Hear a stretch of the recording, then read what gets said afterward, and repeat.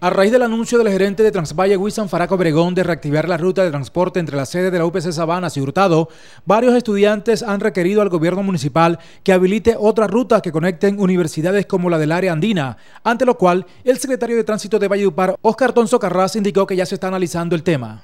Nosotros ya hemos tenido conversaciones con la doctora Gelka Gutiérrez, la rectora de la Universidad Andina, Necesita, tenemos la necesidad obviamente impediosa. Frente a la solicitud de los estudiantes de la Universidad de la Arandina de tener una ruta que los conecte, Oscar Tonso Carras, secretario de Tránsito, dijo que hay una ruta que pasa muy cerca. Pero ya hay un par de rutas que pasan a cuatro cuadras de la universidad. Por el frente de la universidad todavía no pasa ninguna ruta. Estamos estudiando a ver qué ruta de impacto podemos generar que pase por ahí. Los universitarios han solicitado insistentemente que el servicio de buses se preste desde barrios periféricos hasta las sedes universitarias con el fin de facilitar la movilidad en la ciudad de esta gran población.